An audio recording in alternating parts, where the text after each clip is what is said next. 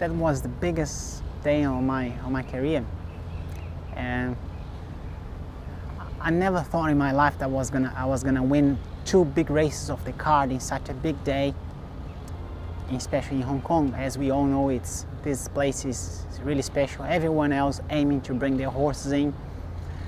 There was so many good horses around, making the competition be very strong and we were very lucky to be able to take two horses home and win in those two races. How you felt with uh, Able Friend that day? You win by like four and a half, four lengths, four and a half lengths going away. You couldn't have expected to win that easily. Honestly, I didn't expect him to win that easy, but I, I was very confident he, he was going to win.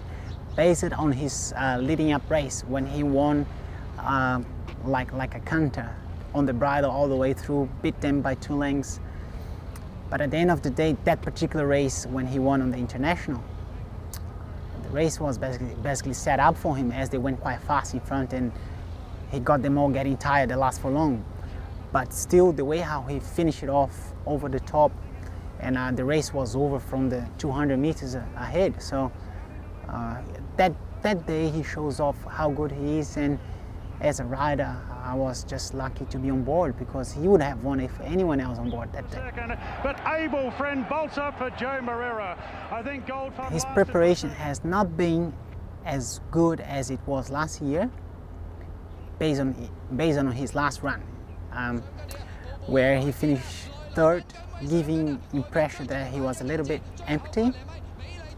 Uh, usually he's a type of a horse that travels for you and as a rider, you just have to control and hold it on, hold it on until the last furlong and a half, and you just let him go. He just go past the other ones. But the, his last run uh, from the 550 meters, I had to start to work on him to, to approach the front runners. Um, I think the track was in favor of the, the front runners at that particular day. Seven races of the card, seven winners was on top three, and usually he run he comes from behind, as you all know but still he, he did run under his best for sure.